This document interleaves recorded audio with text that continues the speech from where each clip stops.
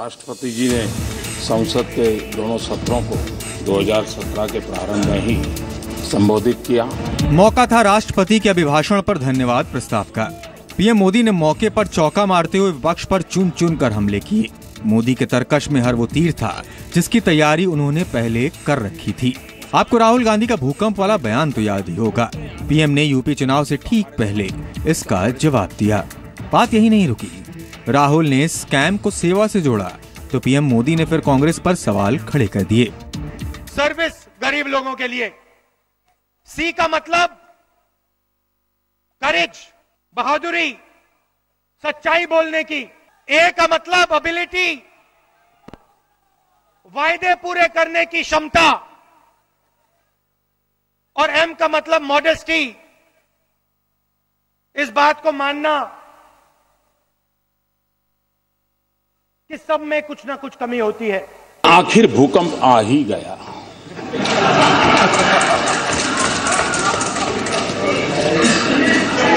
मैं सोच रहा था कि ये भूकंप आया कैसे? क्योंकि धमकी तो बहुत पहले सुनी थी।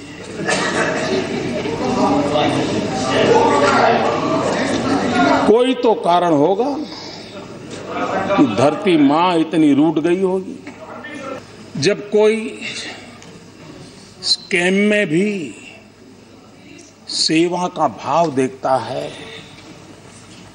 स्कैम में भी नम्रता का भाव देखता है तो सिर्फ़ माँ नहीं, धरती माँ भी दुखी हो जाती है और तब जाकर के भूकंप आता है। पीएम के निशाने पर सिर्फ़ राहुल गांधी नहीं थे, विपक्ष के नेता मल्लिका अर्जुन खड़गे ने कुछ दिन पहले कहा था कि सरकार ने नोटबंदी में कुत्ते के दर्द को भी नहीं समझा।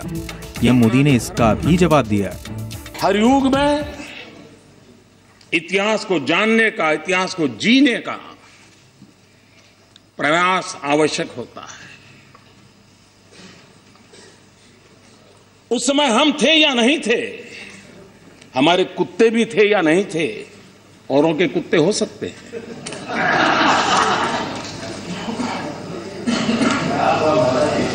हम कुत्तों वाली परंपरा से पले बड़े नहीं हैं। मोदी पूरी लय में थे और लग रहा था कि पीएम पूरी तैयारी करके आए थे। नोटबंदी को लेकर पीएम ने अपनी सरकार का बचाव किया, वहीं लोकतंत्र को लेकर भी कांग्रेस पर निशाना साधा। अब सवाल ये है कि क्या यूपी में परिवारवाद वर्सेस गरीब का बेटा की चुनावी लड़ाई हो रही है? क्या यूपी में अखिलेश, राहुल का साथ सुविधा का समाजवाद है? या फिर संसद में क्या पीएम ने चुनावी भाषण दिया? इन्हीं मुद्दों पर सबसे बड़े एनालिसिस के लिए सीधे चलते हैं जी बिज़नेस स्टूडियो में।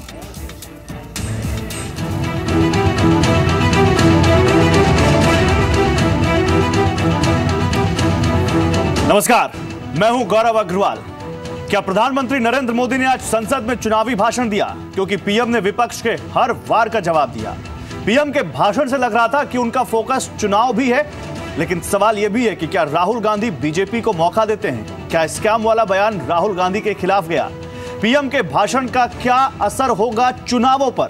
इसी मुद्दे पर आज यही है हमारी big story big debate PM Modi का पलटवार। और इस मुद्दे पर बात करने के लिए मेरे साथ एक खास पैनल है। हम आपको उनसे रूबरू करवाते हैं। मेरे साथ डॉक्टर विजय सोनकर शास्त्री हैं, बीजेपी के प्रवक्ता। आलोक शर्मा है, कांग्रेस के प्रवक्ता। पंखुड़ी पाठक हैं, समाजवादी पार्टी की प्रवक्ता। मेरे साथ रितु सिंह हैं, बहुजन समाज पार्टी की प्रवक्ता और सीनियर जर्नलिस्ट अजय उपाध्याय मेरे साथ इस पैनल में है। आप सभी लोगों का बहुत स्वागत है और आलोक शर्मा, सबसे पहले मैं आपसे इस डिबेट की शुरुआत करूँगा क्योंकि कहीं ना कहीं निशाने पर सबसे ज़्यादा आप और आपकी पार्टी रही है। आलोक शर्मा, प्रधानमंत्री ने उस भूकंप की भी याद दिलाई, जो राहुल गांधी ने कहा था कि मेरे, मैं जब बोलूँगा तो भूकंप आ जाएगा। और कहीं ना कहीं निशाने पर कांग्रेस पार्टी की सारी नीतियों को भी कटघरे में खड़ा कर दिया, जो आज तक आपकी सरकारों ने इस देश के लिए बनाई है। तो क्या माने कि कहीं ना कहीं कांग्रेस पर एक करारा वार आज किया है प्रधानमंत्री ने, या पलटवार बड़ा भारी पड़ा है कांग्रेस पर? देखिए, मैं समझता हूँ, गौरव जी हिंदुस्तान के आज़ाद इतिहास में जब से प्रधानमंत्री तमाम प्रधानमंत्रियों ने भाषण दिए हैं संसद के अंदर बजट के ऊपर, अगर आज तक के इतिहास में सबसे घटिया कोई भाषण रहा होगा तो वो आज का भाषण रहा होगा, जिसमें एक देश का प्रधानमंत्री केवल और केवल अहंकार अपने मुँह से निकाल रहा है। आप देखिए किस तरह से भूकंप के ऊपर भी आप जिन लोगों के मकान गिर गए, उनके ऊपर आप चुटकी ले रहे उनके ऊपर देश का प्रधानमंत्री मज़ाक बना रहा है। क्या आप संसद की गरिमा को गिराने का काम नहीं कर रहे हैं? जो डेढ़ सौ लोग मर गए नोटबंदी के दौरान आप उनका भी मज़ाक उड़ा रहे हैं। आप मैं जानना चाहता हूँ नोटबंदी के ऊपर आपने कौन कौन से लक्ष्य हासिल किए और अगर नोटबंदी इतना अच्छा कदम था तो आपने उसको बार बार गोल पोस्ट को क्यों चेंज किया? आज बताइए कितने ऐसे काले धन पीले धन वालों को जेल में पहुँचा दिया आपने? आपने कहा था पचास दिन मुझे दीजिए लेकिन आपका इकोनॉमिक सर्वे कहता है कि दो करोड़ रोजगारों के बदले लेबर ब्यूरो का जो रिकॉर्ड आता है कि 1.37 लाख केवल जॉब्स आए हैं। देश का प्रधानमंत्री संसद का मज़ाक बना रहा है। तालियाँ पिटवाने के लिए केवल वो गरीबों का मज़ाक उड़ा रहा है। पूरे बजट के अंदर मिनिमम सपोर्ट प्राइस का शब्द तक नहीं है। रेलवे बजट के अंदर आपको एक पैराग्राफ लिखने का टाइम नहीं मिला। आप बताइए कितना रेलवे को घाटा हुआ है? प्रधानमंत्री जी ने कोई जवाब नहीं दिया आलोक शर्मा आलोक शर्मा मेरे पास पूरी फहरिस्त आलोक शर्मा। आप उसके ऊपर? आलोक शर्मा मेरे पास पूरी फहरिस्त है कि उन्होंने किस किस आंकड़े की का ज़िक्र किया उन्होंने मनरेगा का ज़िक्र किया एलईडी बल्ब का ज़िक्र किया और उन्होंने उन्होंने आपकी योजनाओं का ज़िक्र किया बेनामी संपत्ति कानून का ज़िक्र किया।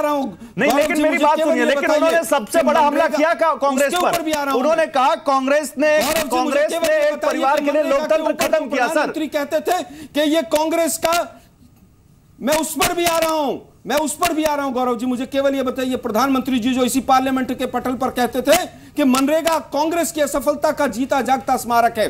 आज उसी स्मारक के ऊपर आप खड़े होकर कमल का फूल लहराना चाहते हैं ऐसा संभव नहीं है। आप कहते हैं बजट बढ़ा दिया। अरे नोटबंदी की वजह से तीन करोड़ लोग बेरोजगार हो गए इसलिए मनरेगा में रजिस्ट्रेशन बढ़ गया। किसान जो अपना बीज भी समय पर नहीं ला पाया ठीक है। जिस तरह से किसानों की हालत हुई धान की फ़सल मंडी में पड़ी रह गई। मोदी जी कहते हैं गरीबों का हक गरीबों को दिलाऊँगा। हमें सत्तर साल लगे ज़ीरो से पाँच रुपए प्लेटफॉर्म टिकट करने के लिए। इनको पाँच से दस करने में सत्तर दिन नहीं लगे। मैं इनसे पूछना चाहता हूँ। आप मुझे केवल ये बता दीजिए कि रोज़गार कहाँ है। मुझे केवल ये बता दीजिए कि हिंदुस्तान के इतिहास में कोई भी ऐसा बजट आया है जिसमें किसान के मिनिमम सपोर्ट प्राइस शब्द की भी अवेलेबल नहीं आंकड़ों की बात की है। मैं मैं मैं आलोक शर्मा आपने आंकड़ों की बात की है। एक एक फैक्ट एक फैक्ट एक एक एक एक फैक्ट आज और रखा गया संसद में और संसद में रखा गया प्रधानमंत्री की तरफ़ से रखा गया इसलिए आप उस पर जवाब दे। डॉक्टर शास्त्री एक मिनट में आ रहा हूँ डॉक्टर शास्त्री एक मिनट में आ रहा हूँ। बोलने से बंद भी तो डॉक्टर शास्त्री एक मिनट में आ रहा हूँ डॉक्टर शास्त्री रुकिए। नहीं नहीं सुनिए सुनिए आलोक शर्मा आलोक शर्मा। पहले माइक तो बंद करिए। आलोक शर्मा सुनिए। आलोक शर्मा कांग्रेस ने बेनामी संपत्ति कानून बनाया यह खुद आज पीएम ने कहा। 1988 में। लेकिन 26 साल तक आप नोटिफाई नहीं कर पाए। यह भी एक फैक्ट रखा उन्होंने। इस पर अपना रिएक्शन ज़रूर दें फिर डॉक्टर शास्त्री आप पे आ रहा हूँ। उत्तर देना चाहूँगा मैं इस फैक्ट का। नहीं नहीं मैं मैं बिल्कुल इस पर उत्तर देना चाहूँगा। 1988 में एक कानून आया। नहीं लोग पूछ रहे हैं डर किस बात का था? राजीव जी ने की। लेकिन उन्नीस सौ नवासी के बाद से कांग्रेस की अरे सर सुनिए ना आप सुनना नहीं चाहते हैं। लोगों को गलत तथ्य देकर ये देश का प्रधानमंत्री पूरे हिंदुस्तान को गुमराह कर रहा है। मैं पूछना तो चाहता आप ही हूँ नवासी के बाद कांग्रेस की अल्पमत की सरकार रही। सुनिए जरा एक मिनट सोनकर शास्त्री जी शांत रहिए आप। उसके बाद छह साल अटल बिहारी वाजपेयी दस साल- रही। दस साल काम वन। UPA टू भी अल्पमत की सरकार थी क्या? 2011 में यही कानून। सर सुनिए। सर मैं बताता हूँ बिल्कुल अल्पमत की थी क्या आपको नहीं पता क्या? दो 204 हमारे हाईएस्ट चलिए ठीक है सर। Okay okay. मैं अब दूसरे पैनल का रुख करूँगा। Okay okay Alok Sharma. Sir 2011 में नहीं सर। सर उत्तर तो दीजिए ना उत्तर देने गौरव जी एक मिनट दो 2011 कीजिए। अगस्त में हमने जब ये बिल टेबल पर रखा तो यशवंत सिन्हा जी फाइनेंस मिनिस्ट्री के गौरव ये क्या कर रहे हो आप? अगर ये इन्हीं को बोलने का डॉक्टर देना साहब, तो लोग डॉक्टर। खड़े हो जाते हैं ठीक है okay okay Alok Sharma doctor Shastri. Doctor Shastri विपक्ष का साफ़ आरोप अब आप ही जवाब दीजिए डॉक्टर शास्त्री। डॉक्टर शास्त्री अब आप ही जवाब दीजिए डॉक्टर शास्त्री डॉक्टर शास्त्री साल तक बड़ा ही। आपके आपके आप बोलने की मशीन को चुप तो कराइए। सुनिए डॉक्टर शास्त्री अब आप बोलिए। सर बजट अभिभाषण पर प्रधानमंत्री ने क्या ये देश के सामने अपनी सरकार का रिपोर्ट कार्ड रखा है और वो भी चुनाव थे इसलिए कि हमने क्या किया और कांग्रेस पार्टी ने क्या किया? क्योंकि कांग्रेस पार्टी और विपक्षी पार्टियाँ साफ़ आरोप लगा रही हैं कि मुद्दा कुछ और था और प्रधानमंत्री ने उसको किसी और चीज़ के लिए इस्तेमाल कर लिया। गौरव मैं तो सबसे पहले जो कांग्रेस के प्रवक्ता ने बातें कही हैं मैं थोड़ा सा उस पर रिएक्शन देना ज़रूरी समझता हूँ। इनके मन की तिलमिलाहट को मैं समझ सकता हूँ। इनके प्रधानमंत्री जो 10 साल तक रहे रात दिन मौन रहते थे कुछ बोलते ही नहीं थे। और जब हमारे प्रधानमंत्री हर मुद्दे पर अपनी विचार रख रहे हैं बेवाक टिप्पणी रख रहे हैं तो इनको वो घटिया लग रहा है। मतलब वो अगर जनता की भाषा बोल रहे हैं तो आलोक शर्मा को घटिया लग रहा है। मैं तो नहीं इनके सारे नेताओं को बोलता ना इनकी पार्टी को मैं इन्हीं को बोल रहा हूँ क्योंकि ये जबान इन्होंने बोली है। या ये कहे कि इनकी पार्टी ने ये बोला है कि घटिया लगता है। देखिए हकीकत तो ये है कि प्रधानमंत्री जी ने एक एक उन तथ्यों को रखा है जिस जो आज इस देश की जनता चाहती है जानना चाहती है। और जो कांग्रेस ने लंबे समय से हालात बना करके रखा था इस देश का सर मैं आपको कांग्रेस के सबसे बड़े नेता का ट्वीट पढ़ के सुनाऊं। था। सर मैं आपको कांग्रेस के सबसे बड़े नेता का ट्वीट पढ़ के मैं- सुनाऊं। प्रधानमंत्री कह रहे थे कि जब शरीर स्वस्थ होता है तब ऑपरेशन करते हैं। और राहुल गांधी ने हो ट्वीट करके कहा है नीम हकीम खतरा है जान। पूरी हो करने दीजिए। आप बोलिए आप ही आप ही को बोल रहा हूँ मैं आप ही बोलिए। लेकिन राहुल गांधी ने जो ट्वीट किया उस पर भी बोलिए। नीम हकीम खतरा है जान। गौरव इस तरह से नहीं होगा। अगर इस तरह से होगा तो फिर आप बोलने दो। अभी पंद्रह मिनट तक लगातार बोल रहे सर मैंने आपसे पूछा है। आपसे पूछा है। आपसे पूछा है। अगर हम बोल रहे हैं हमारी जवाब भी नहीं देने हमको जवाब भी नहीं देना चाहते हैं। आई थिंक गौरव जरा सा पेशेंस रखिए। आपने कांग्रेस को बड़े पेशेंस के साथ सुना है। जरा भारतीय जनता पार्टी के लोगों को भी पेशेंस से सुनिए। हम उस तरह की सर हमने तो नहीं करना हमने चाहते तो बड़े पेशेंस से सुना है सर और सुनने के लिए बुलाया है। बोलिए आप। तो ये कहना चाहते हैं कि जो प्रश्न किया गया है अगर संसद में प्रधानमंत्री जी ने जो तमाम बातें रखी हैं। देश की जनता क्या कह रही? जरा इसको तो सुनिए। ये कांग्रेस के लोग क्या कहेंगे? इन लोगों ने तो केवल वही कहा है जो केवल गुमराह करने के लिए या देश की दिशा को बदलने के लिए किया था।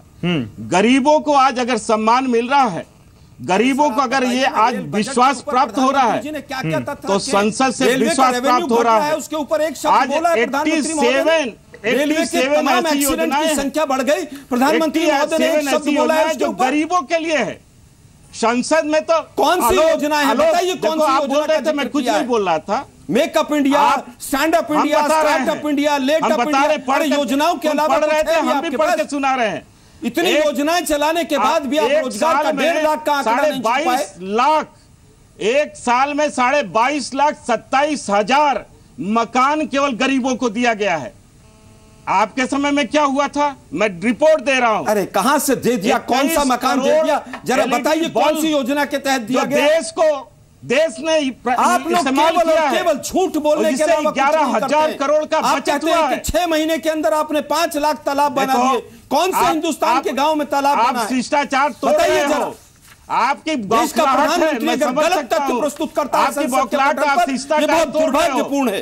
आप अपने आप को पिछले पाँच गवर्नर दो फाइनेंस मिनिस्टर तमाम बड़े नहीं आलोक जी आलोक जी आलोक जी आलोक जी हमारा इकोनॉमिक आलोक जी आपने आलोक जी आलोक शर्मा आपने आपने अपने तथ्य रखे डॉक्टर शास्त्री की बात पूरी हो जाए मैं दूसरे पैनलिस्ट के पास चला जाऊँ फिर ओपन डिबेट करते हैं आलोक जी ओपन डिबेट करते हैं लेकिन एक एक पैनलिस्ट के पास जाने के बाद आलोक जी आलोक जी थोड़ा पेशेंस रखिए आलोक जी आलोक जी इतने इतने पेशेंस के साथ आज आपने पीएम मोदी का पूरा पूरा भाषण सुना लोगों को दो मिनट शास्त्री साहब को सुन लीजिए फिर आता हूँ आपके पास।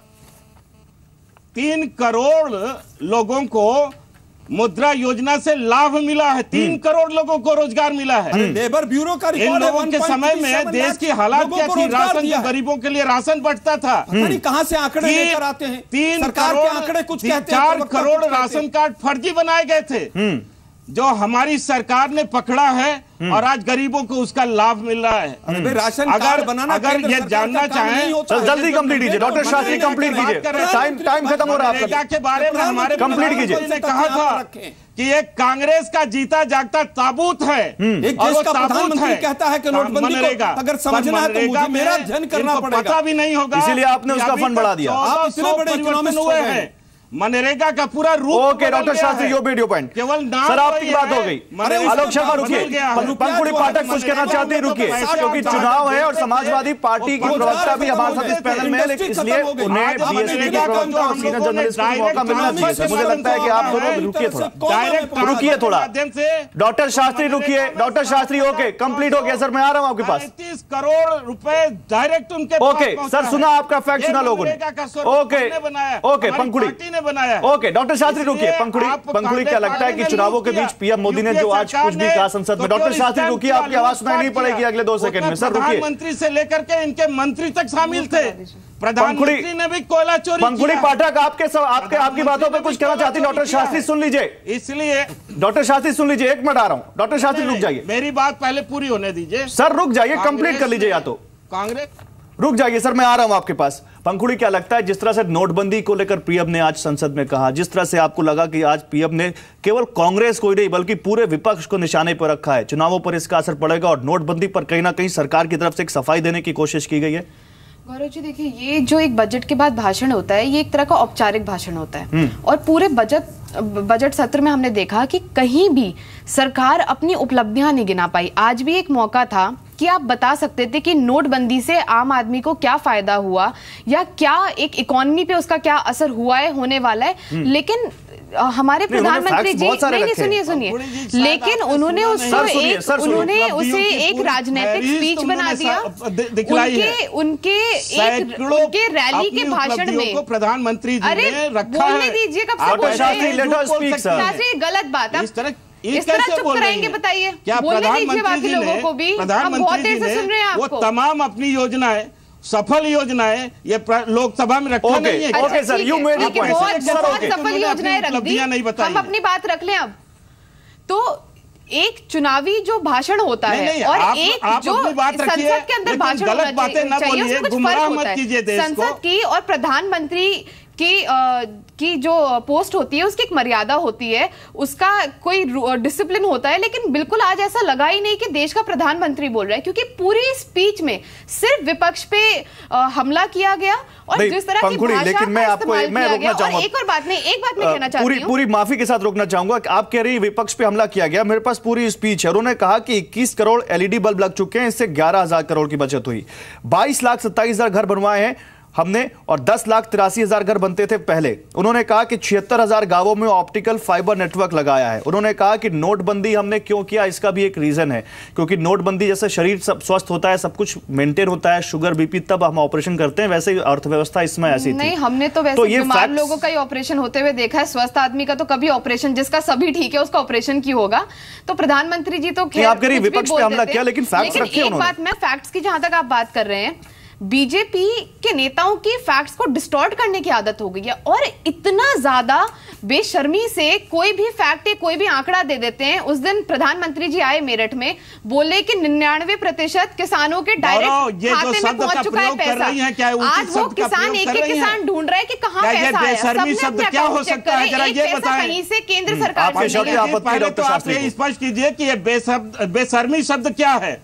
बेशर्मी पहले मतलब तो ये जब आप जब आप बिना सोचे समझे बिना आंकड़ों के फिजूल कुछ भी बोल देते हैं किसी पे कोई इल्ज़ाम लगा देते हैं आपके पास कोई आंकड़ा नहीं है दिखाने के लिए। अभी आप यहाँ पे कह रहे हैं तीन लाख चार लाख बोली जा रही है एक ऑब्जेक्शन ये बनता है पंखुड़ी। आपको पंखुड़ी एक ऑब्जेक्शन ये बनता है कि अभी आपने पंखुड़ी अभी आपने कहा कि प्रधानमंत्री पद की गरिमा को नहीं लगना चाहता इस तरह से कैरी नहीं कर आपने जो तो आप भी तो प्रवक्ता के पद पर यहाँ बैठी है और क्या किसी भी पार्टी के प्रवक्ता को किसी भी पार्टी के प्रधानमंत्री के लिए ऐसे शब्दों का यूज़ करना चाहिए मैंने कहा भाजपा के नेता मैं भाजपा के सभी नेताओं की बात कर रही हूँ प्रधानमंत्री को नहीं कह रही मैंने भाजपा के नेता बोला रिवाइंड मैंने कहा भाजपा के सारे नेता क्योंकि इनके सारे नेता उत्तर प्रदेश का चुनाव है। अगर ये उत्तर प्रदेश में आके शास्त्री बोलने दीजिए। शास्त्री जी बोलने दीजिए। शास्त्री जी बोलने दीजिए। उत्तर प्रदेश में आके ये सिर्फ़ दो बातें करते हैं। या तो ये नए नए एब्रीविएशन लेकर आते हैं। माँ बेटी की सरकार माँ बेटी की सरकार। दूसरी ये करते सांप्रदायिकता। राम मंदिर बना देंगे एक साल में कर्फ्यू लगा देंगे आते ही सपा दबा के लोगों को उल्टा टांग देंगे? तो इनकी भाषा से आप ये बताइए पंगुड़ी चुनाव पे इसका असर पड़ने जा रहा है कि नहीं? चुनाव पे असर पड़ने जा रहा है कि नहीं मैं आ रहा हूँ भाषा हो सकती है, नोटबंदी एक लेकिन बहुत बड़ा मुद्दा हो सकती और इसीलिए प्रधानमंत्री या कोई भी नेता भाजपा का बड़ा नेता जाके नोटबंदी की तारीफ़ आज नहीं कर रहा है। क्योंकि आम तो आदमी कर रहे हैं, उन्होंने तो बताया। को नहीं उत्तर प्रदेश में जाकर मैं बता रही हूँ। ये लोग नहीं बोलते पर कि आम आदमी हैं? उत्तर प्रदेश में हूँ आलोक जी आ रहा हूँ आलोक जी आ रहा हूँ आलोक जी एक मिनट में आ रहा हूँ। पर हूँ। जिस किसान की तीन साल बाद अच्छी फ़सल हुई थी हैं। किसान को अपनी फ़सल जलाने जलानी पड़ी जो कारीगर मजदूर दूसरे प्रदेशों में काम करते थे। किसानों ने भी लौट सेवा की। ओके, लोगों ओके। के पास स्वीकार इलाज का पैसा नहीं था शादी कराने का पैसा नहीं था बारे में बच्चों के स्कूल की फ़ीस देने का तो पैसा नहीं था। दो सौ लोग मर गए। लेकिन प्रधानमंत्री उन दो सौ लोगों डॉक्टर के शास्त्री मरने का बात करना हिसाब बना देते डॉक्टर शास्त्री मेरी बात सुनिए। डॉक्टर शास्त्री मेरी बात सुनिए। डॉक्टर शास्त्री। एक अमीर आदमी डॉक्टर शास्त्री मेरी बात सुनिए। डॉक्टर शास्त्री एक मिनट पंखुड़ी एक मिनट पंखुड़ी एक मिनट। बताइए। पंखुड़ी एक मिनट रुकिए पंखुड़ी एक मिनट रुकिए। डॉक्टर शास्त्री गोवा ऐसे बात नहीं हो पाएगी। देंगे उत्तर पंखुड़ी प्रदेश ऐसे बात नहीं हो पाएगी। और आप लोग कहते हैं डॉक्टर शास्त्री ऐसे बात नहीं हो पाएगी। आप सब लोग एक साथ बोलते रहेंगे तो मैं चुप बैठ जाता हूँ विभा भी चुप बैठ जाएगा और वो आपको सुनेगा भी नहीं सर। क्योंकि किसी की बात सुनेगा नहीं। सर डिबेट एक एक करके होती है। मैं आपके पास आऊँगा आपको अपना जवाब देने का मौका दूँगा तो डॉक्टर शास्त्री तो आपने व्यवस्था नहीं दी नहीं डॉक्टर शास्त्री मैंने आपको दूसरी तुरंत बोला आपको रिस्पॉन्ड करने का मौका दिया। मैं आऊँगा आपके पास लेकिन मुझे दूसरे पैनलिस्ट से जवाब ले लेने दीजिए फिर मैं ओपन डिबेट करूँगा। मैंने बोला चाहिए मैंने बोला कि आपको मैं ओपन डिबेट कर मैंने अपनी आपत्ति जताई है सर लेकिन मैं आपकी तरह नहीं आपत्ति जताऊँगा। मेरा अपना तरीका है मेरे आप, मेरी अपनी सोच है। मैं आऊँगा आपके पास आप मौका दूँगा आपको। रितु सिंह क्या आपको भी लगता है जो पंखुड़ी कह रही है कि नोटबंदी उत्तर प्रदेश में तो नहीं गुनगुना रहे लेकिन संसद में खड़े होकर उत्तर प्रदेश नोटबंदी पर बहुत पीठ ठोकी जा रही है बहुत क्रेडिट लिया जा रहा है। क्या आपको लगता है कि प्रधानमंत्री ने जो आज कुछ कहा है उसका असर यूपी चुनाव पर पड़ने वाला है? नहीं पंखुड़ी ने जो कहा उसमें पंखुड़ी ने काफ़ी कुछ सच कहा कि नोटबंदी वाकई सपा बसपा साथ दिख रही है लेकिन नहीं सपा भाजपा की भाई अगर हम दोस्त कोई सही बात करते हैं तो आप ये कह देते हो कि हम इनके साथ हैं। है। तो ये गलत बात है ना। अगर अभी मैं बीजेपी की तरफ़ से कोई अगर कोई ऐसी आवाज़ नहीं जनता की आवाज़ क्या नोटबंदी से वाकई जो उन्होंने कहा कि कोई आदमी अमीर मरा कोई आदमी मर्सिडीज से उतर के या साइकिल पे आया या साइकिल से उतर के कोई स्कूटर पे गया तो आप बताइए और नोटबंदी का कितना काला धन है? यही तो पूछ रहे हैं हम लोग। बताइए ना मोदी जी अच्छे दिन कब आएँगे? पंद्रह पंद्रह लाख रुपए कब आएँगे? इसका जवाब ही तो पूछ रहे हैं। अगर लेकिन आपने वादे किए हैं आपने कहा राहुल गांधी तो एक बार के लिए एटीएम की लाइन में दिखे मायावती तो कहीं बना तो मैं तो तो देशवासी मरेगा मतलब आप छोटे मैं हम तो बोल रहे हैं कि छोटे आदमी क्या जो लोग थे मैं अभी बहन जी ने भी जब पैसे जमा कराए थे तो लोगों को बड़ा ऑब्जेक्शन हुआ था। कभी भी आपने ये पूछा कि ये जो फंड आता है कांग्रेस या बीजेपी के पास सबसे ज़्यादा फंड आता है लेकिन किसको घेरा? सपा को घेरा? या भाजपा को घेरा? क्यों घेरा भाई? हम लोगों को इससे क्यों नहीं पूछा गया कि इनके? आंकड़े और बात शास्त्री साहब रुकिए, आप बीजेपी के पास सारा बीफ से जो पैसा आता है जो बड़ी तीन कंपनियाँ जो इनको। चंदा देती हैं ओके। वो क- क- क- नहीं तो आपको लगता है कि केवल नोटबंदी एक मुद्दा रहा है या आपके उन्होंने विपक्ष के लिए कहा उन्होंने जो। मोदी आज बात कही आप बताइए शौचालय की बातें करते थे कितने शौचालय बनाए मोदी जी ने जितने शौचालय नहीं बनाए उससे ज़्यादा तो मीडिया पे पैसा खर्च कर दिया मोदी जी ने समझ रहा है। तो मोदी जी ने ऐसा आप वो पैसे किस पेटीएम की बात बेकार करते हैं रहे हैं। आप बताइए उसमें से डेढ़ लाख करोड़ रुपए किसके खाते में जाते हैं टू परसेंट। आता है ना किस कंपनियों के खाते में जाते हैं ओके बताएँगे उसकी ऐड मोदी जी कर रहे हैं। ओके ऋतु सिंह। चलिए सर। अजय सर। जी। ये तो वन इज़ टू थ्री की डिबेट है और ये होगी भी क्योंकि मोदी जी पक्ष में बाकी और बाकी तीनों पार्टियाँ विपक्ष में। लेकिन सर आपको लगता है कि प्रधानमंत्री नरेंद्र मोदी ने एक बार फिर संसद में बजट सत्र के दौरान ही नोटबंदी को लेकर जिस तरह से बयान दिया और जिस तरह से विपक्ष को कटघरे में खड़ा किया आने वाले वक्त में जो चुनाव चल रहे हैं अभी जिन राज्यों में उसमें यह बड़ा मुद्दा होगा। देखिए ये सही बात है कि उत्तर प्रदेश में अभी चुनाव एक लंबे दौर का चुनाव है। जो पाँच छः फ़ेज़ हैं सात फ़ेज़ हैं उसमें जिस तरह से वोटिंग होगी वो हर फ़ेज़ के बाद चुनाव का पैटर्न बदल भी सकता है वोटिंग का पैटर्न बदल भी सकता है।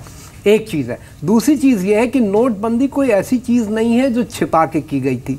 नोटबंदी एक ऐसी चीज़ है जो मुझे लगता है कि भारत के इतिहास में मोस्ट विजिबल कोई अगर एक्शन था तो वो एक्शन था। ठीक है। उस पर विपक्ष की अपनी राय है सरकार की अपनी राय है। ठीक है। और प्रधानमंत्री से ये उम्मीद करना कि वो चुनाव के दौरान अपने किसी भी प्लेटफॉर्म को छोड़ेंगे और नीतिगत बातें करेंगे और चुनावी भाषण नहीं होगा तो मुझे लगता है कोई भी पॉलिटिशियन ये काम नहीं करता है तो उनसे भी मैं उम्मीद नहीं करता कि वो भी ये काम करेंगे। वो उसका भरपूर उपयोग करेंगे।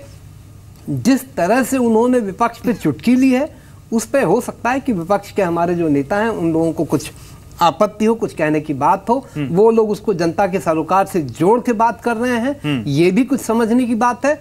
और नोटबंदी पे मुझे लगता है कि सरकार को अपना नोटबंदी नहीं ऐसा लगा कि प्रधानमंत्री ने अपने ढाई साल का पूरा रिपोर्ट कार्ड आज सामने रख दिया कि देखिए एलईडी बल्ब की योजना से हमने ये किया हमने वो किया। क्या, क्या इसको हम चुनावों की टाइमिंग से जोड़े कि ना जोड़े? नहीं बिल्कुल जोड़ सकते हैं जोड़ना ही पड़ेगा। हम नहीं जोड़ेंगे तो उस पर काम नहीं कर सकते। क्योंकि राष्ट्रपति के अभिभाषण के बाद और बजट पेश हो जाने के बाद अगर संसद में कोई बात हो रही है तो ये ताज़ा आंकड़ों की बात है। उस पे हमारे आलोक शर्मा जी भी कुछ अपनी बात रख रहे हैं वो लेबर ब्यूरो की बात बता रहे हैं कि साहब एक लाख सत्तासी हज़ार कुछ जॉब क्रिएट हुए सरकार के पास दूसरे आंकड़े हैं वो दूसरे ढंग से बात कह रही है। तो अगर आप देखिएगा तो हर आदमी को अपना पक्ष रखने की मतलब वो प्लेटफॉर्म भी है पार्लियामेंट और दूसरी चीज़ें रखेंगे भी। तो ये जो उत्तर प्रदेश का चुनाव आया है जो की की इलेक्शन जिसको हम कहते हैं बाकी राज्य महत्वपूर्ण राज्य हैं उनकी अनदेखी करना भी उचित नहीं है। लेकिन उत्तर प्रदेश जो एक निर्णायक भूमिका में रहता है हमेशा लोकसभा चुनाव में और उत्तर प्रदेश देश का सबसे बड़ा राज्य है आबादी के हिसाब से और बाकी चीज़ों में तो अगर हम इस चुनाव को देखते हैं तो हर पार्टी कमर कस के इस चुनाव ठीक है। इस चुनाव की जो सबसे अच्छाई है वो ये है कि इस बार हर पार्टी तैयार है और हर आदमी सड़क पे खड़ा आदमी हो कोई सरकारी बाबू हो कोई पॉलिटिशियन हो हर आदमी दूसरे आदमी से जानना चाहता है कि साहब उत्तर प्रदेश में इस बार क्या हो रहा है। हम तो भी आपसे ये पूछते हैं। रोचक चुनाव है इंटरेस्टिंग इलेक्शन है। सब तरह के कॉम्बिनेशन है और मुझे लगता है कि इसके नतीजे जैसे भी आएँगे वो निर्णायक होंगे और आगामी चुनाव पे उसका मैं आऊँगा सर इस सवाल पे अच्छा आऊँगा आपके पास। इस सवाल पे आपके पास आऊँगा लेकिन बड़ी एक इंटरेस्टिंग अभी एक तस्वीर मुझे इस डिबेट में भी देखने को मिली और वो ये कि कम से कम हम सबने अपने सबसे सीनियर पैनलिस्ट का तो रेस्पेक्ट किया और जब वो बोल रहे थे तो हम में से कोई बीच में नहीं बोला इंक्लूडिंग मी और मुझे बड़ी अच्छी चीज़ लगी। लेकिन आलोक शर्मा मैं आपके पास आऊँगा। डॉक्टर शास्त्री एक मिनट में आऊँगा। आप बहुत अच्छे इस वक्त पोजिशन में है और बहुत अच्छे आपने इस वक्त अभी तक पेशेंस रखा है। एक मिनट में आऊँगा आपके पास लेकिन आलोक शर्मा आप लोग बजट बजट सत्र के पहले जब नोटबंदी हुई थी डीमोनेटाइजेशन उस दौरान तो आपने खूब हंगामा किया। प्रधानमंत्री को संसद में लाओ, प्रधानमंत्री भाषण दे, प्रधानमंत्री से जवाब चाहिए, और आज जब प्रधानमंत्री आ गए तो मिर्ची लग गई सर पूरे विपक्ष को। आप लोग इस तरह से तिलमिला रहे हैं, ऐसा लग रहा है कि प्रधानमंत्री ने ऐसा क्यों बोल दिया? तो सर, बोले तो भी दिक्कत, ना बोले तो भी दिक्कत। ये मैं नहीं कह रहा हूँ, एक व्यूअर ने ट्वीट किया मैं उसके ऊपर बोल रहा हूँ। बोलिए।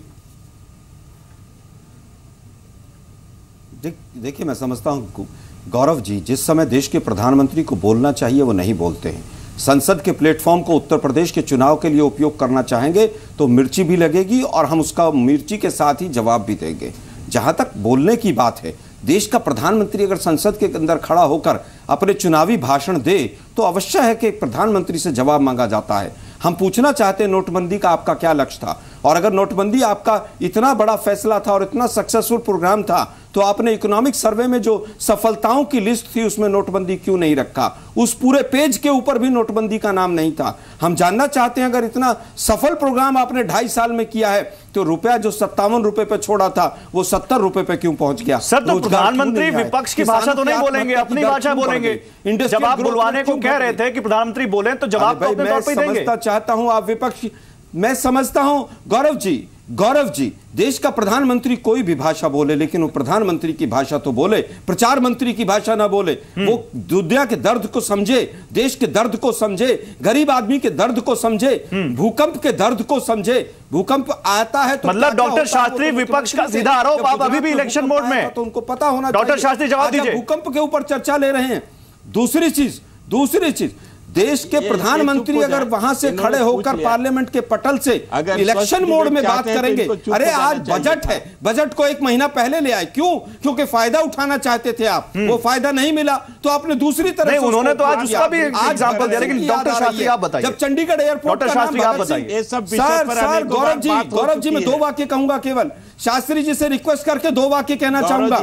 मुझे केवल ये बता दीजिए जब चंडीगढ़ एयरपोर्ट का नाम भगत सिंह के नाम पर रखा गया तो सबसे पहले अपोज किसने किया? बीजेपी ने किया। क्यों किया? क्योंकि एक संघी का नाम रखना था।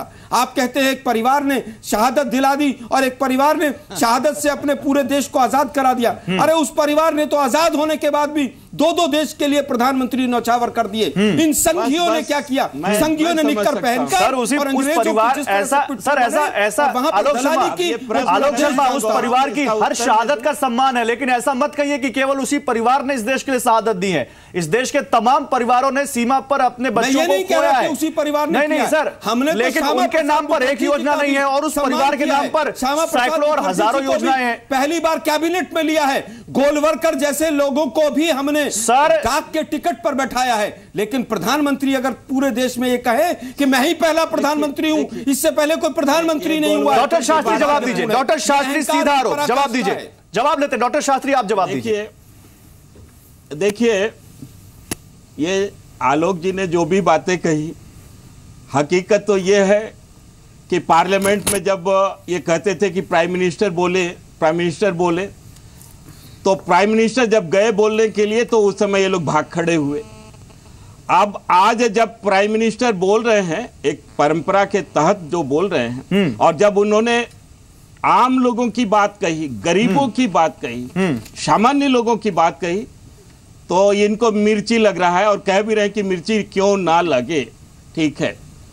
देखिए सच्चाई ये है कि विपक्ष एक समय था जब बड़े बड़े घोटाले होते थे तो भारतीय जनता पार्टी के तमाम पार, पार्लियामेंट मेंबर चाहते थे कि बजट हो तो भ्रष्टाचार पर बजट नहीं होगी ये लोग भाग जाते थे। और आज जब इतने बड़े स्कैम इतनी बड़ी जो भारतीय जनता पार्टी की तरफ़ से और खासतौर से हमारी सरकार की तरफ़ से आर्थिक आर्थिक इस देश की अर्थव्यवस्था को सुधारने के लिए बड़ा निर्णय लिया गया। तो उस पर जब सरकार ने चर्चा किया दिन भर चर्चा चली जब जब सरकार की तरफ़ से उत्तर देने का मौका आया तो ये लोग भाग खड़े हुए। और पूरा महीना पूरा सेशन भर भागते रहे। प्रधानमंत्री आए प्रधानमंत्री आए प्रधानमंत्री भी आए तो भी ये लोग भागते रहे। देखिए जहाँ तक इन्होंने भगत सिंह के नाम की बात करी है मैं इनसे पूछना चाहता हूँ कि जंगे आज़ादी की बात है।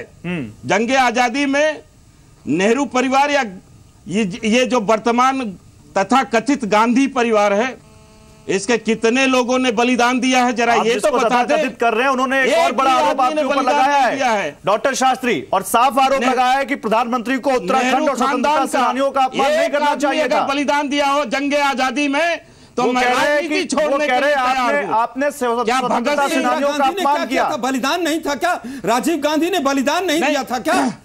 आरएसएस वालों को पता चलेगा बलिदान चंद्रशेखर कांग्रेस पार्टी के थे? क्या भगत सिंह कांग्रेस पार्टी के थे? क्या अशफाकुल्ला खां? अरे भाई कांग्रेस पार्टी के थे। ने भी आज़ादी में पूरा एक नाम बता दीजिए जो कांग्रेस पार्टी के किसी आदमी ने जंगे आज़ादी में शहादत दी हो। एक आदमी का नाम बता दीजिए इस प्रकार की गलतफहमी नहीं पैदा की जानी चाहिए। जंगे आज़ादी में आए बड़े कड़े शब्दों में इस बात की निंदा करता हूँ। कर रहे थे। अगर कांग्रेस पार्टी शहादत की बात करती है तो अंग्रेज़ों की मदद करते थे। और आप लोग बिल्कुल की बात रहिए आप। आपको बोलने का हक नहीं है। जिस कांग्रेस की बात कर रहे हैं आज प्रधानमंत्री ने यही तो पानी की वो चिट्ठी याद नहीं है। लगी। आपके आरएसएस के सबसे बड़े लीडर की कांग्रेस अंग्रेज़ों को लिखते थे मुझे जेल से छोड़ दीजिए। जब मैं आपकी मदद करूँगा। भूल गए आप उसके बाद कांग्रेस पैदा हुई वो पंडित नेहरू तेरह साल तक जेल के अंदर रहे। लंदन से पढ़ने के बाद आपको नहीं समझ आया आपके नेताओं को बीजेपी को ज़िंदगी में समझ नहीं आएगी। झिझक नहीं है कि वो कहते हैं कुत्ते किसको कुत्ता बना रहे हैं? किस कुत्ते की शहादत चाहते हैं? आपके नेता। की भाषा ये तो आप भाषा है। प्लीज़ प्लीज़ प्लीज़ डॉक्टर प्रधानमंत्री संसद के पटल पर इस तरह के शब्दों का इस्तेमाल कर रहा है और प्रवक्ता भी यहाँ पर बैठकर इस्तेमाल कर रहे हैं। दुर्भाग्यपूर्ण है। देश का प्रधानमंत्री कभी सीधे हाथ की ताली बजाता है कभी उल्टे हाथ की ये देश के आलोक शर्मा यूज़ तो आपके आपके आपके लोकसभा में नेता भी नहीं किया था उन्होंने भी अपने ही अपने कुत्ते का एग्ज़ाम्पल दिया था। उसके ऊपर आप नहीं बोलेंगे।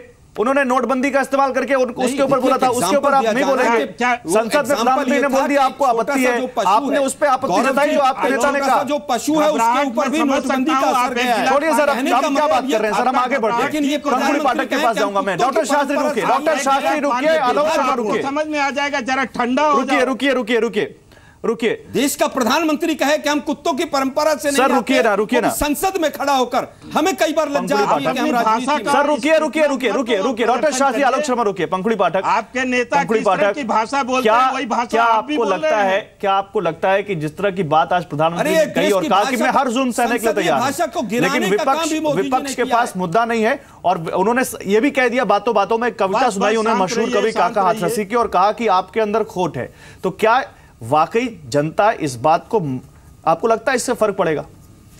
देखिए, अगर आज संसद में सुनते प्रधानमंत्री जी को तो ऐसा नहीं लग रहा था कि देश का सबसे बड़ा नेता, लीडर ऑफ़ द हाउस बोल रहे हैं। लेकिन ऐसा लग रहा था कि भाजपा का एक नेता जो अपनी हार समझ चुका है कि हार हो गई है, वो बोल रहे हैं।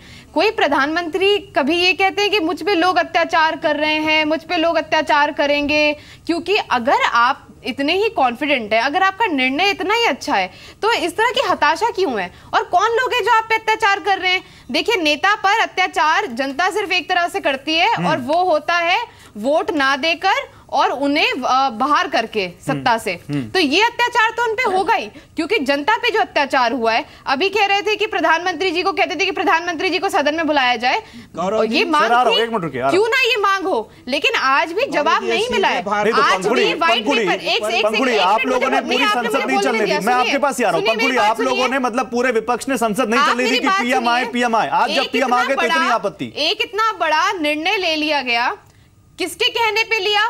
किस किस को खबर थी? तमाम आपने जमीनें खरीदी बैंकों में पैसे जमा कराए आपके पता नहीं आपने कौन से उद्योगपति दोस्तों को अपने इस बारे में खबर दी। गौरव जी- किसके सर, कहने मिनट पे किसके कहने पे निर्णय लिया गया? कितना उसका फ़ायदा हुआ है? कितना उसका नुकसान हुआ हाँ, ये आकलन नहीं करना चाहिए। क्या इसका जवाब जनता- जिन लोगों के घर में हार मौतें हुई है। जिनके जिनका हमेशा के लिए मान लिया है कारोबार ठप हो गया। वो लोग क्या ये साइकिल जानना नहीं चाहते आपने उन्हें कह कांग्रेस दिया पार्टी के पहली बार कोई युवराज को बैठाने के लिए आमंत्रण दे दिया है। ये लोग ये लोग सैनिक हार की तो बात वो मान गए हैं, की बात करते हैं जो लोग गठबंधन बनाने लगे हैं। सैनिक ने ये क्या कह दिया कि किसके हार की बात कर रही है? सैनिक का पता नहीं है। उत्तर प्रदेश की जनता समाजवादी पार्टी को जवाब देगी अपने चौखट पर इन्होंने कहा माँ के सामने बेटी के साथ बलात्कार हुआ है इन्होंने कहा पंखुड़ी जी।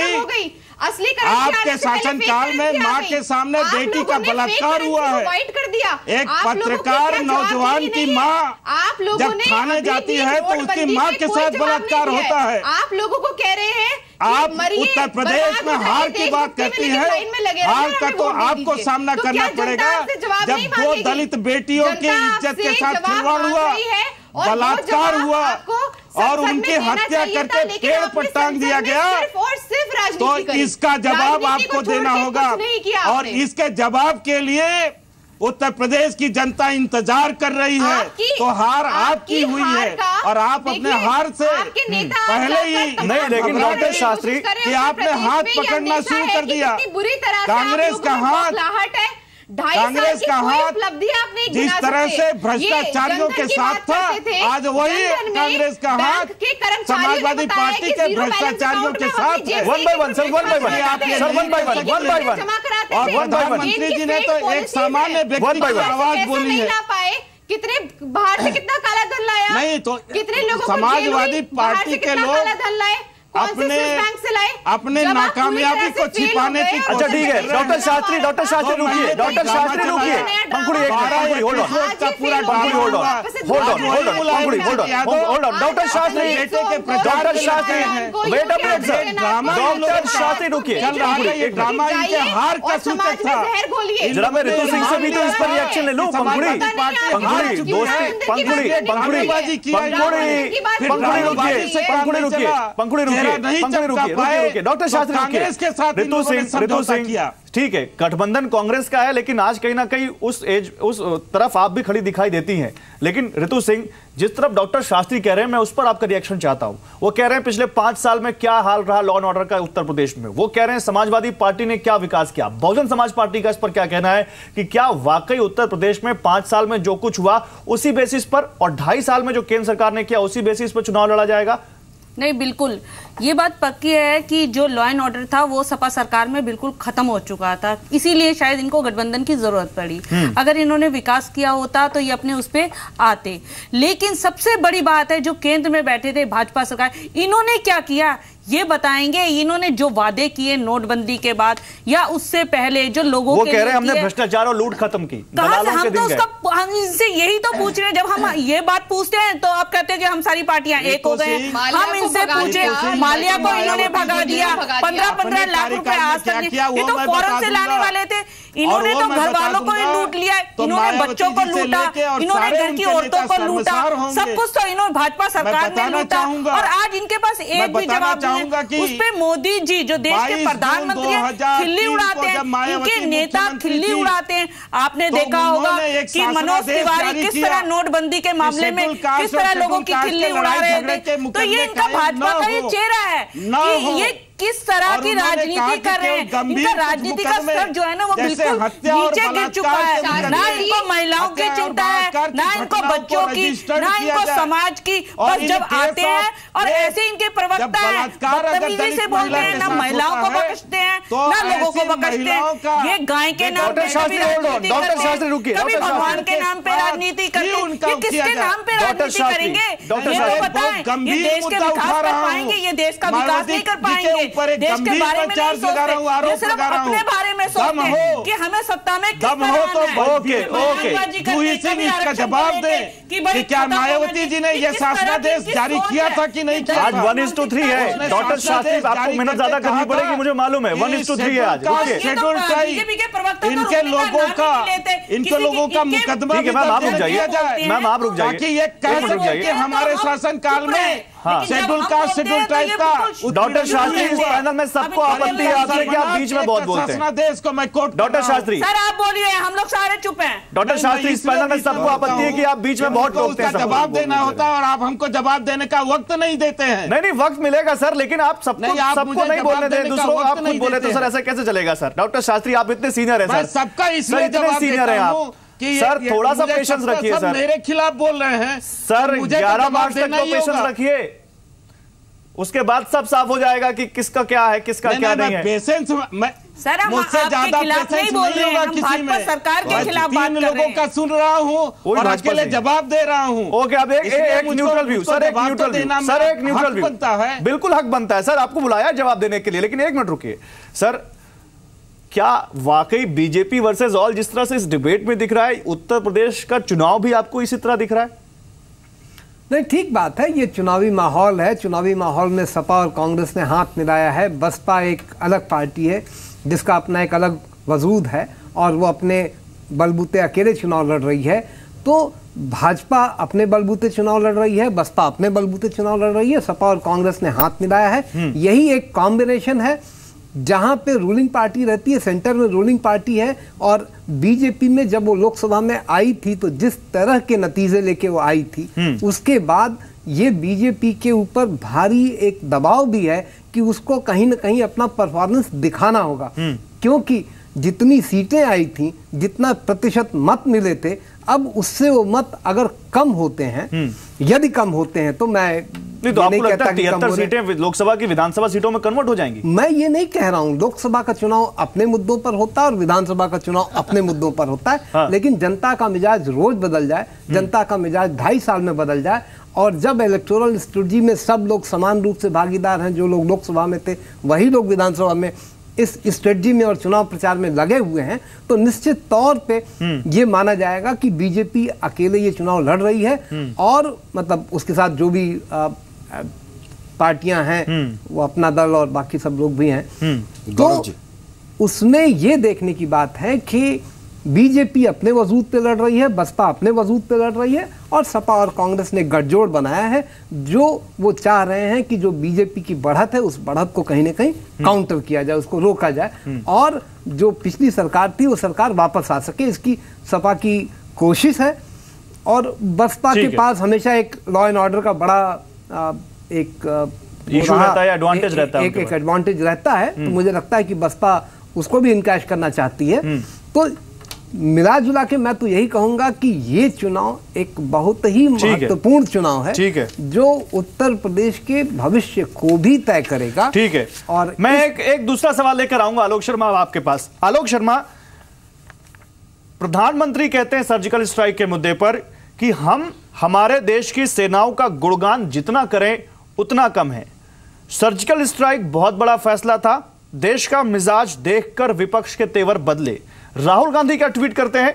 राहुल गांधी कहते हैं कि प्रधानमंत्री को उत्तराखंड और स्वतंत्रता सेनानियों का अपमान नहीं करना चाहिए था। तो क्या इसमें कहीं उन्होंने स्वतंत्रता सेनानियों का या उत्तराखंड का अपमान किया? आलोक शर्मा इसमें कहीं? और भूकंप की जहाँ तक बात है तो ये तो राहुल गांधी ने खुद कहा था कि मैं बोलूँगा तो भूकंप आ जाएगा। ये जो ट्वीट है देखिए मैं समझता हूँ कि राहुल जी का भूकंप कहने का शब्द का अर्थ और भूकंप वास्तविकता जो प्लेट टेक्टोनिक्स से होता है उनका अंतर है। उनके ट्वीट के दो पार्ट हैं। सबसे पहला पार्ट है उत्तरांचल का जो अपमान है वो भूकंप के नाते है कि उत्तरांचल में भूकंप आ रहा है। आप यहाँ पर उस भूकंप शब्द की खिल्ली उड़ा रहे हैं। वो भी क्योंकि कल आया था और उसको आप मेंशन कर रहे हैं कि भूकंप तो आ ही गया। अरे मोदी साहब आप कह रहे हैं कि सैनिकों का हम सम्मान करते हैं सर्जिकल स्ट्राइक किया, सैनिकों ने किया, बीजेपी के प्रवक्ताओं ने जाके नहीं किया पाकिस्तान में, और पहली बार नहीं हुआ है। आप पहले भी कई बार हुआ है। लेकिन इस तरह की पब्लिसिटी किसी ने नहीं ली। हम्म। इस तरह से रक्षा मंत्री ने आगरा में जाकर पगड़ी बंधवाकर तलवारें कभी नहीं खींची गई। हम्म। इसलिए कहा राहुल गांधी जी ने हम्म। कि आप सैनिकों का अपमान मत कीजिए सैनिकों पर राजनीति मत कीजिए हमारी सेना अपोलिटिकल रही है उसको पॉलिटिक्स में मत घसीटिए। ये सेना का अपमान हुआ है। मैं दो चीज़ें पूछना चाहता हूँ। बैंकों के कर्मचारियों के घोटाले तो आपने देख लिए। अब आप प्रधानमंत्री जी कह रहे हैं पहले तो इनकम टैक्स के अधिकारी कहीं भी पहुँच जाते थे। हम्म। अरे भाई इनकम टैक्स के नोटिस आने शुरू हो गए हैं। हम्म। उघाई शुरू हो गई है इनकम टैक्स के अधिकारियों की। क्या नहीं हुई है? पहले तो बैंक के कर्मचारी जो थे वो तमाम बीजेपी के प्रवक्ता कहते थे हम उनको सत सत नमन करते हैं। फिर जब वो बंडल के बंडल निकलने लगे तब आपको समझ आई कह रहे तो लूट मच गई। अब आपने इनकम टैक्स के अधिकारियों के हाथ में उस तरह दे दिया है। अब वो किस तरह से क्या करेंगे वो आने वाला समय बताएगा। आरबीआई, जिसमें दस डायरेक्टर्स होते हैं, आठ हैं ही नहीं। दो हैं, दो में से आपने क्या किया? एक को बुलाया, उससे साइन कराया, आधा घंटे में कैबिनेट की अप्रूवल, और प्रधानमंत्री कहते हैं, मैं तो डिबेट के लिए तैयार हूँ। अरे कम से कम फाइनेंस मिनिस्टर से तो डिस्कस कर लेते। अरे आरबीआई से तो डिस्कस कर लेते। संवैधानिक संस्था थी। आपने उसका कचूमर निकाल दिया रीड चलिए डॉक्टर शास्त्री बहुत पेशेंट आपका सवाल आपका जवाब सुन लेते हैं तिहत्तर सांसद आपको जवाब सुन लेते हैं। मुझे केवल ये बताइए कि तिहत्तर सांसद दिए। उत्तर प्रदेश को आपने क्या किया क्या हाँ। एक उद्योग दिया? क्या दिया डॉक्टर शास्त्री? डॉक्टर शास्त्री उत्तर प्रदेश को क्या दिया? आपने क्या किया? गेहूँ के ऊपर जो एक्साइज ड्यूटी लगती थी क्या दिया? वो भी हटा दिया। क्या दिया केवल कांग्रेस और बीजेपी के गठबंधन के अलावा आपने उत्तर प्रदेश को बताइए मुझे केवल बताइए कि उत्तर प्रदेश के लिए ढाई साल में केंद्र सरकार ने क्या किया?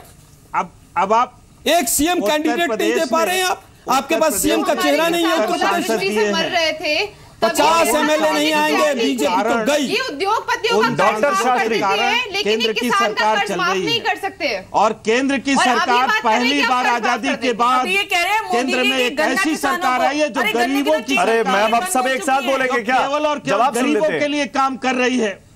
जो चौरा जो देखिए तिहत्तर सांसदों के कारण ही हम्म। केंद्र में भारतीय जनता करोड़ लोग बेरोजगार हो गए। गरीबों के लिए काम है। मिनिमम सपोर्ट प्राइस का बजट में डिस्कशन नहीं हो। आप, आप ये सरकार का काम है। ये गरीबों के लिए काम है। कौन सा काम किया गरीबों के लिए? पार्टी नतमस्तक होकर के उत्तर प्रदेश को सलाम करती है। लेकिन अच्छा, हकीकत तो ये है कि जो केंद्र में चौरासी योजनाएँ बनी है हम्म। जो गरीबों के लिए योजनाएँ बनी है हम्म। वो उत्तर प्रदेश के ही गरीबों डॉक्टर शास्त्री आपको लगता है इन सारी बातों पर उत्तर प्रदेश की जनता आपको वोट डालेगी? क्योंकि क्योंकि विपक्ष बहुत ज़्यादा हमलावर है जनता हमारे साथ है। उत्तर प्रदेश में साठ लाख महिलाओं को गैस तो कनेक्शन बिहार की जनता ने भी बताया था। दिल्ली की जनता ने भी बताया था। और ग्यारह तारीख का इंतज़ार कीजिए। बीजेपी के प्रवक्ता चार करोड़ पर नहीं मिलेंगे आपको। ग्यारह तारीख आने दीजिए। उत्तर प्रदेश की जनता जवाब देगी आपको। वो चार करोड़ लोग हमारे लोगों के साथ तैयार रहेंगे। हम्म। उत्तर प्रदेश में अरे मुद्रा योजना में तमाम जो नॉन बैंकिंग फाइनेंशियल कॉर्पोरेशन सीधे उनके पास पैसा पहुँच रहा है। केंद्र सरकार ने नहीं दिया मुद्रा योजना हम लोगों के साथ तैयार रहेंगे। उत्तर प्रदेश पूरा हम लोगों के साथ है। रहेगा और उत्तर तभी तो बिहार में doctor Shastri doctor Shastri doctor Shastri खुलेगा डॉक्टर शास्त्री एक सवाल आपसे पूछा गया था एक पार नहीं होगा। डॉक्टर शास्त्री प्रदेश डॉक्टर शास्त्री डॉक्टर शास्त्री आपसे एक सवाल पूछा गया था। बाद उत्तर प्रदेश में सर, आपसे एक सवाल पूछा गया था। भ्रष्टाचारों को प्रदेश से बाहर कर दिया जाएगा। डॉक्टर शास्त्री आपसे एक सवाल पूछा गया था कि आपने उत्तर प्रदेश को क्या दिया? मेरा सवाल आपसे है पाकिस्तान वालों को भी डॉक्टर शास्त्री डॉक्टर शास्त्री मेरा ये सवाल नहीं है। पंखुड़ी, मेरा ये सवाल नहीं है। डॉक्टर शास्त्री सुनिए डॉक्टर शास्त्री डॉक्टर शास्त्री एक मिनट डॉक्टर शास्त्री। पुलिस पहुंचेगी सर सुनिए सुनिए डॉक्टर शास्त्री सुनिए डॉक्टर शास्त्री मेरा ये सवाल है। चौबीस घंटे डॉक्टर शास्त्री मेरा सवाल सुन लीजिए और पंद्रह मिनट में पुलिस पहुंचेगी सर, मेरा सवाल सुन लीजिए, डॉक्टर शास्त्री, डॉक्टर शास्त्री, मेरा सवाल सुन लीजिए। चाहता है और उत्तर प्रदेश क्या आपको लगता है डॉक्टर शास्त्री कि आपने आपने उत्तर प्रदेश को सपा और कांग्रेस के गठबंधन के अलावा कुछ और दिया है, क्योंकि मुझे तो लगता है कि आपकी वजह से गठबंधन हुआ है। और आलोक शर्मा, जिस तरह से आज आपके ऊपर एक के बाद एक निशाने कर रहे हैं, आपसे ज़्यादा कहीं ना कहीं ये समाजवादी पार्टी की मदद, आपकी तो मदद तो करेंगे नहीं, समाजवादी पार्टी की मदद कर रहे हैं। नहीं देखिए ऐसी बात नहीं है। वो तो समाजवादी पार्टी से हाँ, गठजोड़ किए हैं। तो गठजोड़ किए हैं तो गठ आपको लगता है गठबंधन से आप- आपको नुकसान हो रहा है? पूरे देश को गठजोड़ करके लूटे थे उसी तरह उत्तर प्रदेश को भी लूटने का गठजोड़ है। तो गठजोड़ एक गठ ये एक दूसरे की मदद करके ये बार बार आप लोगों को गुमराह करेंगे लूटे थे लूटे उत्तर थे। प्रदेश अरे उन जो लूटे थे उन लोगों को जेल में क्यों नहीं डाला? तीन साल उत्तर तक प्रदेश में इतनी कमज़ोर सरकार है क्या? हुआ है देश के तो प्रधानमंत्री इतने कमज़ोर है क्या? उत्तर प्रदेश में हमने तो राजा को अंदर डाला। राहुल हमने को कलवाड़ी को अंदर डाला। आप एक नाम बताइए ना। इसको ना आपने जेल के अंदर डाला? जिस तरह से आपने माल्या को भगा दिया। ललित गेट मामले ललित में मोदी को भगा दिया। उत्तर सड़क की प्रदेश सफ़ाई से क्या कहते तिजोरी तक साफ़ कर दी प्रदेश के नोटबंदी बारे के में नाम कम पे से कम इतना तो ज़रूर बीजेपी तो गई यूपी में उत्तर 50 प्रदेश अब सीट नहीं भविष्यवाणी सुन लीजिए डॉक्टर शास्त्री बीजेपी गई। डॉक्टर शास्त्री भविष्यवाणी सुन लीजिए बीजेपी गई। नहीं वो अच्छी तरह से जानते हैं। डॉक्टर शास्त्री आलोक शर्मा गौरव जी आलोक शर्मा ने आलोक शर्मा ने भविष्यवाणी कर दी। बीजेपी मुक्त हो रहा है देश। बीजेपी मुक्त और बीजेपी कांग्रेस युक्त हो रही है। तमाम पार्टियों का जो रिजेक्टेड मान है वो बीजेपी में। Okay okay okay okay okay okay मैं एक फाइनल कमेंट लेना चाहूँगा। बीजेपी सर प्लीज़ खत्म हो गया टाइम डॉक्टर डॉक्टर शास्त्री आप बीच में मत बोलेगा मैं उपाध्याय जी से एक फाइनल कमेंट लेना चाहता हूँ। सर क्या आपको लगता है कि जिस तरह से ये पूरा गठबंधन हुआ है वाकई बीजेपी के लिए कहना है कि टक्कर ज़्यादा हो गई है? या बीएसपी को भी आप मानते हैं इस वजह से दिक्कत हो मेरा फ़ोन नहीं देखिए किसी को दिक्कत नहीं हो रही। ये बराबरी की आजमाइश है। ये अच्छी बात है। लोकतंत्र के लिए मुकाबला बढ़ गया है। लोकतंत्र के लिए ये एक बड़ी अच्छी चीज़ है कि कोई आज की तारीख में ये गेस करने का जोखिम नहीं उठा रहा है कि कौन जीतेगा और कौन हार रहा है। ये एक बहुत अच्छी शुरुआत है। मैं ये मानता हूँ कि लोकतंत्र में इस तरह की सिचुएशन बनी रहनी चाहिए बजाय इसके कि एक तरफा सिचुएशन बनी रहे जिसमें कि ये पता रहे कि कौन आ रहा है लेकिन उसके बाद पाँच साल तक न पता रहे कि कौन आया। तो ठीक है। पाँच साल तक उसका सर पता एक, भी रहे। एक, एक आखिरी सवाल एक आखिरी सवाल ठीक है आपके हिसाब से ये बहुत अच्छी तस्वीर है लेकिन आज जिस तरह से प्रधानमंत्री ने विपक्ष पर हमला बोला आपको लगता है कि इसका भी असर पड़ेगा? आप बड़े बड़े बिल्कुल पड़ेगा, बिल्कुल पड़ेगा। देखिए, ऐसा है कि- सपा आ रही है। हर मौके पे हर मौके पे जब कभी भी प्रधानमंत्री अपनी बात कहते हैं तो उनकी अपनी कहने की शैली है। उस शैली से वो फ़ायदा उठाते हैं। वो चुनावी सभाओं में भी जा रहे हैं आज लोकसभा में थे और मुझे लगता है कि उनका अपना प्रचार करने का एक स्टाइल है और उस स्टाइल उन्होंने इस मौके को इस्तेमाल किया। बहुत शुक्रिया। Okay sir. ओके आप सभी लोगों का बहुत शुक्रिया हमारे साथ जुड़ने के लिए। तो बिग स्टोरी बिग डिबेट में आज हम बात कर रहे थे पीएम मोदी के पलटवार की लेकिन बात पलटवार से चुनावों तक गई और चुनावों में जिस तरह से बात निकलकर सामने आई है कुछ मत सोचिए, कुछ मत एनालिसिस करते रहिए, लेकिन 11 मार्च को इस फाइनल फैसला होगा, क्योंकि जैसा कि सीनियर जर्नलिस्ट अजय उपाध्याय जी कह रहे हैं, टक्कर बहुत कड़ी है। बेस्ट स्टोरी डिबेट बस इतना ही। आप देखते रहिए नमस्कार।